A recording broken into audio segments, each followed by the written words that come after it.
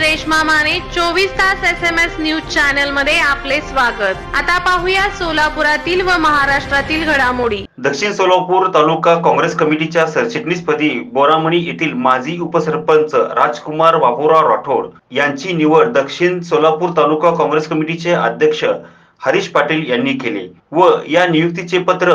माजी केंद्रीय गृहमंत्री सुशीलकुमार शिंदे यांच्या हस्ते